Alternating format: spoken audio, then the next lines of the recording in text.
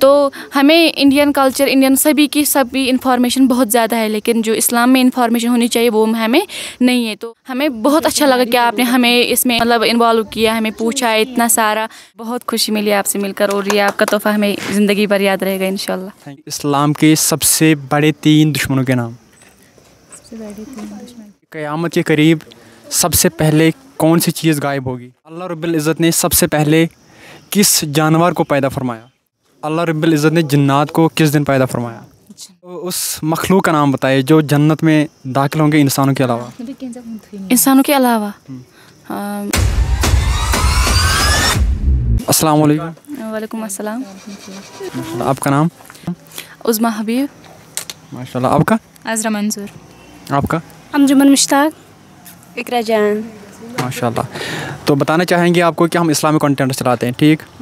तो हम आपको इस्लाम के रिलेटेड छोटे छोटे क्वेश्चंस पूछेंगे अगर आपने उनका सही से आंसर दिया तो हमारी तरफ़ से आपको एक रिवॉर्ड मिलेगा ठीक? थैंक यू ओके तो पहला क्वेश्चन रहेगा आपसे आप बता दीजिए कि इस्लाम के सबसे बड़े तीन दुश्मनों के नाम। आंसर उसमें दो आंसर अबू अबू जहल शैतान और दजाल।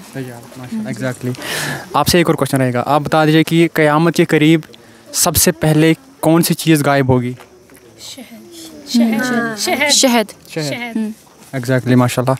एक और क्वेश्चन आपसे। आप बता दीजिए कि नबी करीम सल्लल्लाहु अलैहि वसल्लम को कौन सा रंग सबसे ज़्यादा पसंद था? यानी कि कपड़ों का। सफ़ेद। सफ़ेद। सफ़ेद रंग का कपड़ा। माशाल्लाह। अल्लाह रब्बुल इज़्ज़त ने सबसे पहले किस जानवर को पैदा फरमाया? मछली? मछली। मछली? मछली। एग्जैक्टली तो एक और क्वेश्चन आपसे। आप बताइए कि अल्लाह रब्बुल इज़्ज़त ने जन्नात को किस दिन पैदा फरमाया? जुमा के रात। जुम्मा रात। कब्र में इंसानों के अलावा किसका सवाल जवाब होगा? सॉरी सॉरी सॉरी पता है? नहीं। नहीं पता? कब्र में इंसानों के अलावा जन्नात का सवाल हिसाब किताब होगा ठीक? अच्छा उस मखलूक का नाम बताइए जो जन्नत में दाखिल होंगे इंसानों के अलावा। इंसानों के अलावा? जन्नत। हाँ? जन्नत? जन्नत। अच्छा चंद्र नबी के नाम बताइए बहुत इजी है। हज़रत ईसा हज़रत मूसा अलैहिस्सलाम हज़रत हज़रत यूसुफ इब्राहिम इस्माइल याकूब पहले पहले खलीफे का नाम बताइए आप। पहला खलीफा हज़रत अबू बकर सिद्दीक।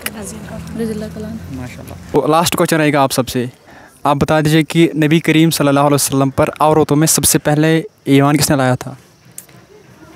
हज़रत खदीजा रज़ी अल्लाह अन्हा। श्योर है आप? आ, उन्होंने ईमान उन पर क्यों लाया था? उसकी ईमानदारी देख के सच्चाई देख के। सच्चाई देख के। हाँ उसकी ईमानदारी माशा जी बाद में फिर वो उनकी बेगम बन गई। माशाल्लाह बिल्कुल। बाद में वो वो उन्होंने उनके साथ शादी की और पहली बीवी भी बन गई थी। ठीक? अजवाज मुतारत में से पहले अजवाज मुतारत वही है। तो आपकी कोई मैसेज रहेगी लास्ट में तक? जी मैं यही कहना चाहती हूँ कि आजकल सभी बच्चे जो कि मतलब ज़्यादातर फ़ोन से लगे रहते हैं। मतलब अ, वो दूसरे मुल्कों के जो भी होते हैं वो देखते हैं लेकिन हाँ वेस्टर्न कल्चर उन्हें अडॉप्ट कर लिया है। लेकिन जो हमारा असली मज़हब है उस पर ध्यान कोई नहीं दे रहा है। हमारा असली मज़हब हमारे असली मज़हब में जो किताब है वो कुरान करीम है। लेकिन इस दौर में सभी पढ़ते हैं, लेकिन माने के साथ कोई नहीं पढ़ता है। तो हमें इंडियन कल्चर इंडियन सभी की सभी इंफॉर्मेशन बहुत ज़्यादा है, लेकिन जो इस्लाम में इंफॉर्मेशन होनी चाहिए, वो हमें नहीं है। तो हमें बहुत अच्छा लगा कि आपने हमें इसमें मतलब इन्वॉल्व किया, हमें पूछा है इतना सारा। लेकिन हमें थोड़ा थोड़ा तो मालूम था, लेकिन आपसे मिलकर आपसे मिलकर हमने और भी जाना।